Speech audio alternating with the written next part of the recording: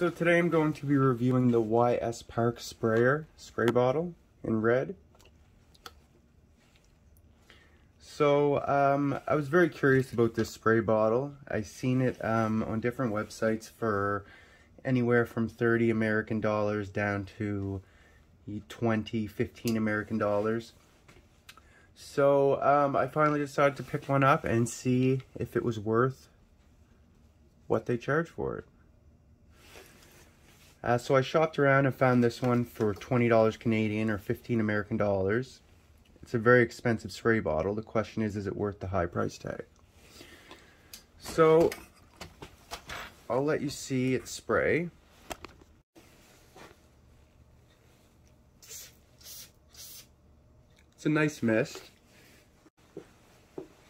However, when you compare it to the BaByliss spray bottle that I picked up for I think eight dollars Canadian. Or just um, another brand of gold water bottle that I picked up for around eight dollars. Is it worth the extra 20 some dollars? It does spray a nice mist. It is uh, a nice full spray.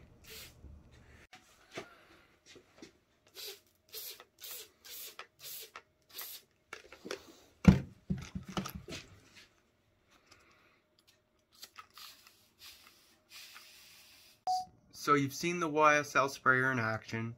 Uh, it is a nice spray bottle, has a nice full spray.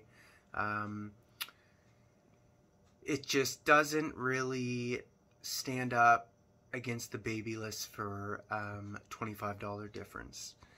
Um, if money isn't an object to you, then pick it up and give it a try out. It is a great spray bottle. Um, but if you are on a budget and you're looking for a great spray bottle, I recommend picking up the BaByliss Continuous Mister for $8.